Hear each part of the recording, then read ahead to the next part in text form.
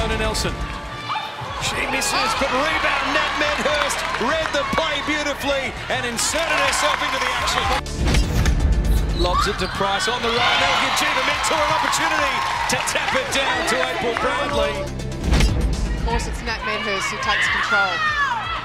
And Shot. I love seeing Nat Medhurst take that long bomb. She's got the perfect shooting action. Good intercept there from Ravaillion.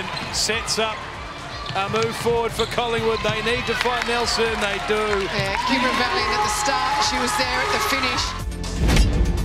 16 to 10, so a bonus point.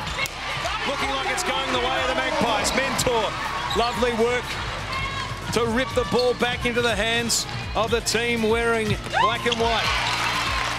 Nelson, goal.